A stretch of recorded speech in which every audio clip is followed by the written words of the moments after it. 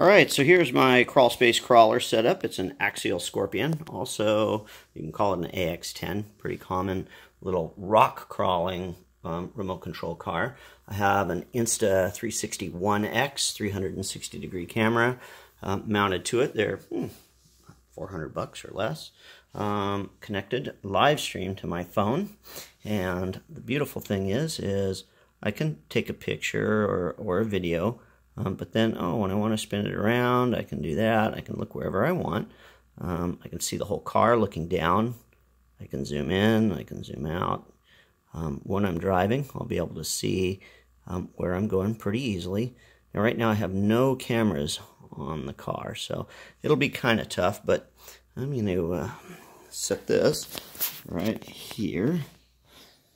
And I'll show you that I can drive this car. There's about half a second lag. I'm going to drive off into the other room, only looking, I'm not looking at the actual crawler itself. Now, because this happens to be um, set, oh, this happens to be set by uh, um, compass direction and elevation, I'll have to turn the camera every once in a while by just sweeping my finger on the phone. It just changes the view. It doesn't turn the camera.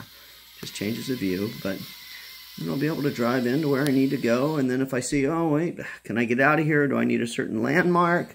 I spin this around look back and, you know, I can look around wherever I need to go.